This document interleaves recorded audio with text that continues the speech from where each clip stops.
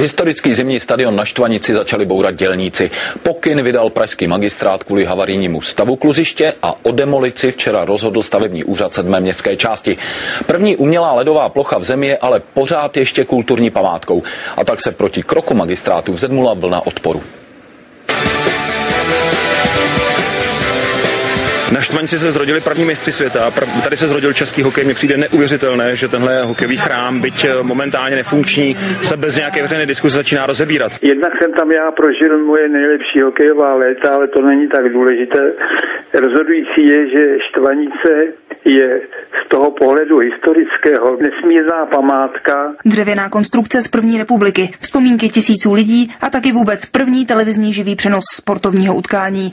To je vlastně byla Štvanice. Konala se tu čtyři mistrovství světa v hokeji a trénovala tu celá řada hokejových generací a taky generací krasobruslařů. Svých 80. narozenin se už ale nedožije. Podle posudků hrozilo, že Štvanice spadne a někoho zraní. Bourat se začalo narychlo ani ne den od vydání rozhodnutí o demolici. Rozhodl o tom stavební úřad Prahy 7 místně příslušný. My jeho rozhodnutí musíme respektovat, to odstranění nám nařizuje a to neodkladně. Památkáři jsou rozčarováni. Magistrát tím podle nich dává jasný signál, že to, že je stavba kulturní památkou, nehraje roli. Tady vlastně magistrát vysílá poselství, že e, pokud máte problémový památkový objekt, nechce ho bourat tak, až bude ohrožovat zdraví lidí. Ten stav to není že by se to minulý týden zjistilo, že to padá na hlavu. Je naprosto evidentní, že došlo k selhání majitele té kulturní památky. Pak, když to nechal jít do stavu, kdy ta kulturní památka se musí e, zbourat, tak je to jednoznačné selhání e, vlastníka. Magistrát ale nesouhlasí. Tvrdí, že Štvanici si pronajímala za symbolickou tisícovku ročně firma Apex Club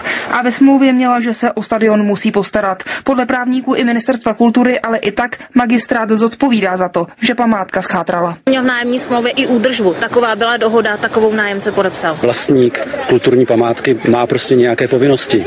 To, že to neplní pronajímatel, to, to ještě z vlastníka té kulturní památky nesnímá odpovědnost. Ministerstvo kultury proto nevylučuje vůči magistrátu další právní kroky a uvažují o nich i památkáři nebo neziskové organizace. My si myslíme, že celé je to záměr tu štvanici zbourat a dát jí v plen developerům. Magistrát ale tvrdí, že chce, aby se na štvanici zase bruslilo. O tom, co nahradí zbouranou památku, nicméně zatím jasno nemá. A tak jediná jistota je, že do 20 dnů nezbyde z dřevěného kusu historie nic.